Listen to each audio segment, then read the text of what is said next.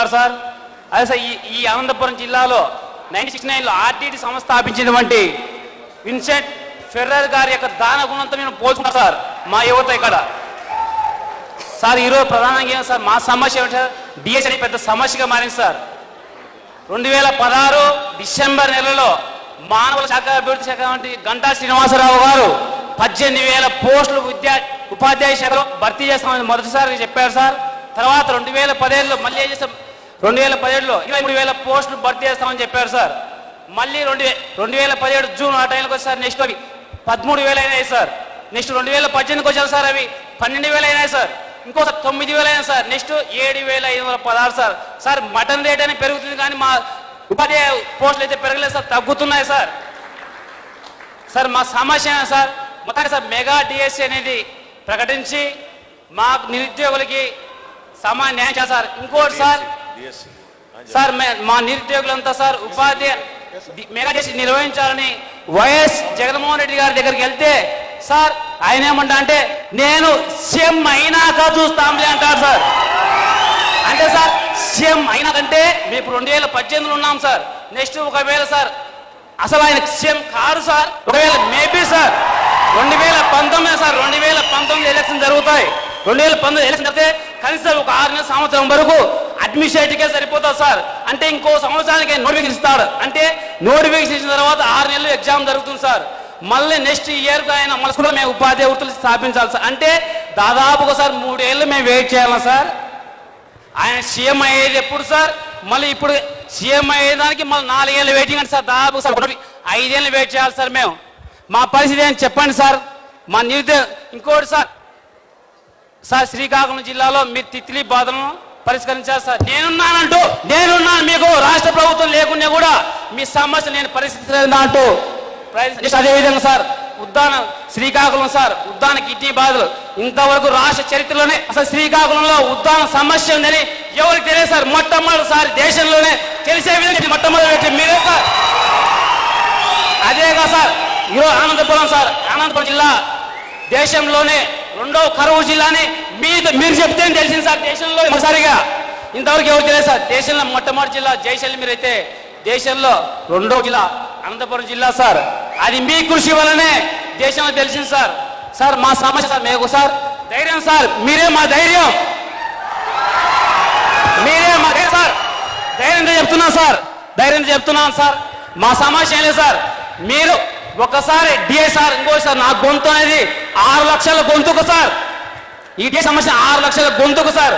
చెప్తాను సార్ మాకు న్యాయం జరగాలంటే మీరు మా కోసం ఉద్దానం కిడ్నీ బాధల కోసం ఏ విధంగా అయితే దీక్ష పూన్నారో ఒక్కరోజు సార్ ఒక్కరోజు మీరు దీక్ష చేయండి. మొత్తం పరిస్థితులు మారకుండా చూడండి సార్. ఒక్కరోజు సార్. దీక్ష చేయమంటాడు ఒక రోజు డిఎస్సి దయచేసి చెప్తాం కొంచెం సార్ కంపల్సరీ సార్ మార్పు అనేది వస్తుంది సార్.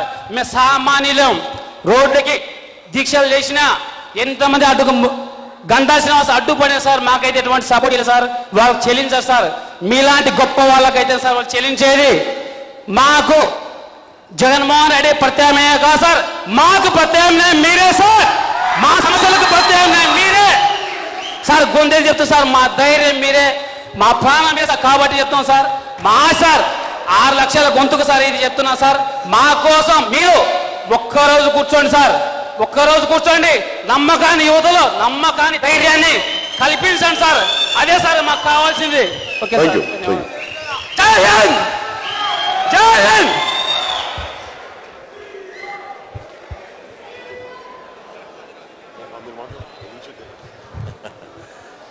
లేదు డిఎస్సి గురించి మీ మీరు ఇప్పుడు అడిగిన ప్రశ్న ఇంతకుముందే నేను చెప్పాను ఏ విధంగా ప్రభుత్వం మోసపూరిత ఒక ప్రణాళిక మేరకు కావాలని మిమ్మల్ని అందరినీ కూడా మభ్యపెట్టుకుంటూ ప్రతి సంవత్సరం చేయబోతున్నాం చేయబోతున్నాం చేయబోతున్నాం అని ప్రకటనలు చేసి చివరికి మళ్ళీ మీ ఏజ్ కూడా అయిపోయిన తర్వాత ఎక్స్టెన్షన్ ఇస్తున్నాం అని చెప్పాల్సిన దుస్థితి రాష్ట్ర ప్రభుత్వం పరిపాల పరిపాలన ఉంది.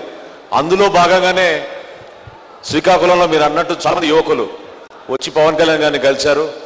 వాళ్ళు కూడా ఇదే వ్యక్తపరిచారు. ఎంత కష్టపడి వాళ్ళు చదువుకుని టెస్ట్కి ప్రిపేర్ అయితే డిఎస్సి మాత్రం నిర్వహించడం లేదు. ఎన్నిసార్లు వాళ్ళు వెళ్ళి మరి అడిషనల్గా క్లాసెస్ తీసుకుని ట్యూషన్స్ తీసుకుని ఇన్స్టిట్యూషన్ తీసుకుని వాటిని ఏ విధంగా ముందు తీసుకెళ్తారు అనేది చాలా ఇబ్బందికరమైన పరిస్థితి ఉందని వాళ్ళ కుటుంబాలు వాళ్ళు చెప్పారు. కాబట్టి తప్పకుండా డిఎస్సి విషయంలో మాత్రం మనందరం కూడా ఏకతాటిపైన ప్రభుత్వాన్ని నిలదీయాలి. అది అవసరం. ఎందుకంటే కావాలని ప్రజల్ని మభ్యపెట్టారు. దానికి జనసేన కూడా మీతో అందరికన్నా తప్పకుండా స్పందిస్తుందని భావిస్తున్నాను.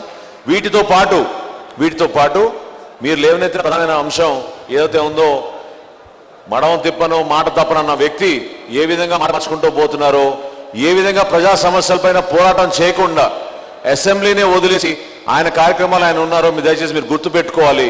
ఇటువంటి సమస్యలపైన అసెంబ్లీలో ప్రభుత్వాన్ని నిలదీస్తే తప్పకుండా అసెంబ్లీలో ప్రభుత్వం ముఖ్యమంత్రి అందరూ కూడా అప్రమత్తమై మీకు న్యాయం చేసే విధంగా పనిచేసే వాళ్ళు కానీ ఆ పరిస్థితి ఈ రోజు లేదు.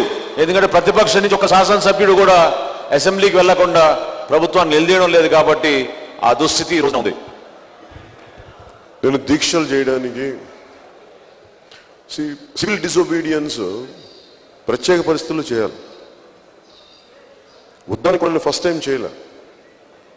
చెప్పి మాట్లాడిన తర్వాత ప్రభుత్వం స్పందించ స్పందించకపోతే తప్పనిసరిగా చేసింది కూడా సరిపోకపోతే అప్పుడు చేశారు. వీళ్ళకి ఒక ఎదిగే వయసులో విద్యార్థి దశలో కానీ నిరుద్యోగ దశలో కానీ ఒక ఆరు నెలలు లేట్ అయినా ఒక జీవితం కాలం వెనక్కి వెళ్ళిపోయినట్టు ఉంటుంది. అలాగే ఇందాక చెప్తున్నా మాట్లాడుతుంటే ఉద్యోగాలు పడతా ఉన్నాయి. స్కిల్ గ్యాప్ అని చూపిస్తా ఉన్నారు. మేము పెట్టే ఉద్యోగాలు వీళ్ళకి అంత స్కిల్ గ్యాప్ ఉందనేది. దానికి తెలుగుదేశం ప్రభుత్వాలు చేయాలి నిలదీయాల్సిన ప్రతిపక్షాలు లేవు. కేవలం దీక్ష చేస్తే సమస్య తీరుద్దంటే నేను హండ్రెడ్ పర్సెంట్ చేయగలను. కాకపోతే నాకు దీక్షను ఒక్క చిన్న ఈ ఒక్క సమస్యనే కాకుండా అనంతపురం వెనుకబాటుతనానికి రాయలసీమ వెనుకబాటుతనానికి వీటన్నిటికి సంబంధించి ఖచ్చితంగా ఒక రోజున దీక్ష చేయాల్సిన అవసరం ఖచ్చితంగా ఉంది. వచ్చేస్తాం ఎందుకంటే అనంతపురాన్ని రాయలసీమ నిర్లక్ష్యం చేశారు. అది మనకి స్థానికంగా పరిశ్రమలకు ముప్పై శాతం ఉద్యోగాలు కానీ పిహెచ్డి పట్టభద్రులకి సరైన గుర్తింపు లేకపోవడాలు కానీ స్కిల్ డెవలప్మెంట్ సెంటర్స్ లేకపోవడం కానీ ఈ మనకి డిస్ట్రిక్ట్ సెలక్షన్ కమిటీ ఉద్యోగాలు కానీ వీటన్నిటికీ సంబంధించి ఖచ్చితంగా ఒక రోజు రాయలసీమకు సంబంధించి మన అనంతపురంలో ఒక రోజు ఒక దీక్షని ఖచ్చితంగా నిర్వహిద్దాం థ్యాంక్ యూ